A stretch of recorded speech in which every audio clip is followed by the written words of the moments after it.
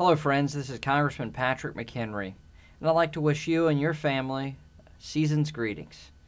It's been a long, hectic year here in Washington. However, this is the time of year to take a step back and truly appreciate what a blessed nation we live in, and especially give thanks to the bravest men and women in the world serving our country in our armed forces. I'm also thankful to you for the opportunity to continue to represent you in Congress, and I hope that you and your family and loved ones have a wonderful Christmas and a happy, prosperous, and healthy new year. Thank you, happy holidays, and God bless.